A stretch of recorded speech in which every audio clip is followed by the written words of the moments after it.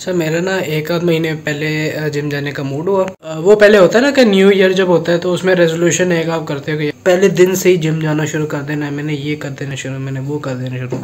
बस मेरी भी जो न्यू ईयर रेजोल्यूशन है, वो थोड़ी लेट शुरू हुई। तीन महीने बाद जाके मेरी न्यू ईयर रेजोल्यूशन शुरू हुई तो मैंने कहा चलो यार, जिधर भी शुरू हुई है, करो। फिर हुआ क्या, फिर यही हुआ कि मैंने अपने दोस्त से पूछा, वो जिम वगैरह जाता है, अच्छी उसकी बॉडी वगैरह, मैंने उससे पूछा कि यार, मैं कैसे अपने आप को काम करूँ? तो उसने कहा कि यार जाओ, जिम जाओ, वहाँ पे ट्रेनर वगैरह को करो और उसके साथ ट्रेनिंग वगैरह करो। अच्छा मैं ऐसा बंदा हूँ कि जिसने मेरे ख्याल से पाँच, छः, सात कोई दर्जन जिम गया हूँगा। गया हूँ मेंबरशिप लिए, एक महीना गया हूँ, फिर आ गया हूँ। फिर इसी तरह आपके बब्बर शेयर फिर गया है, फिर जिम वगैरह, वहाँ पे ट्रेनर वगैरह किया और फिर उसके साथ, यानी कि मैं फिर लग गया ट्रेनिंग करने और सारा कुछ।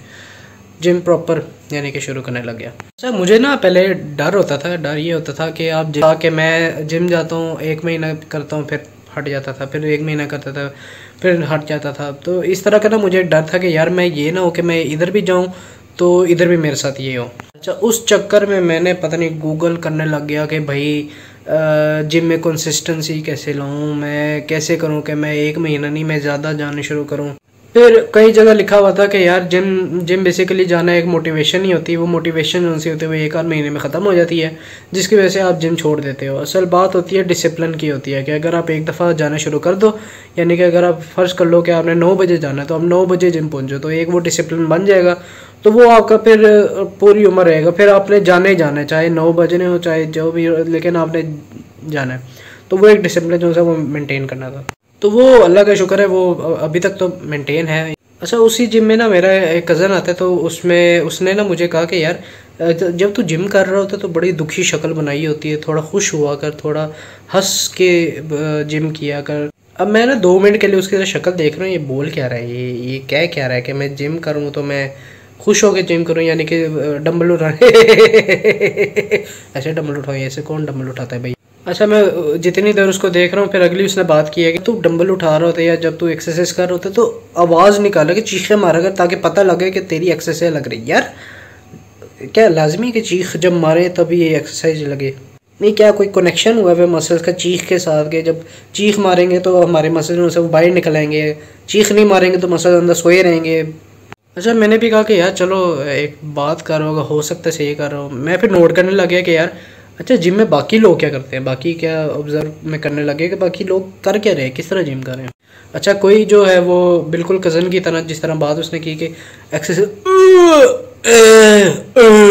पता नहीं यार, क्या गंदी गंदी आवाज़ें निकाल रहे होते हैं।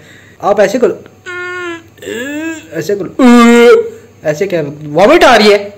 ऐसी वाहियात वाहियात आवाज़ें। अच्छा आपके कोई साथ बैठ के कोई इस तरह के कर रहे हो ना, यकीन करो आपका हासा निकले ही निकलेगा। आप दूसरी तरफ़ मुँह करके हंस लोगे, लेकिन हासा निकलेगा। मैंने भी कहा यार कि चलो खैर, जाने देते हैं। अच्छा फिर एक तो ये वाकई में आवाज़ें निकालने वाले हो गए।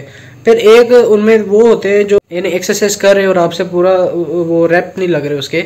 तो आप ना फिर जो दूसरा बंदा होता है वो फिर आके थोड़ी हेल्प करता है कि यार चलो इसके ना एक्सरसाइज पूरी हो जाए सेट पूरा हो जाए उसका। अच्छा कुछ लोग होते हैं जो एक्सरसाइज करते करते फूके मार रहे होते हैं। यानी पता है कि बंदा सामने खड़ा है और वो आपकी हेल्प कर रहा है। नहीं, हमने एक्सरसाइज करनी है। सीधा मुँह पे प्रेशर मार के कोई 120 प्रेशर उसके मुँह पे मार के भाई आप एक्सरसाइज कर रहे हो।